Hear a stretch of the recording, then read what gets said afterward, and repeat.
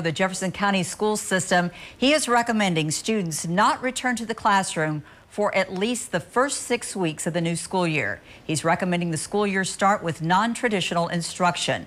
He said the risk is too great right now to go back to the classroom. NTI will be used for the first six weeks, as Vicki mentioned, and then they're going to reevaluate at the end of September, looking at the number of COVID-19 cases, and then also combining that with consultations, consulting with state and health leaders, uh, government leaders. The school board is expected to make a final decision at next Tuesday's board meeting. They will present the entire NTI 2.0 to the board then.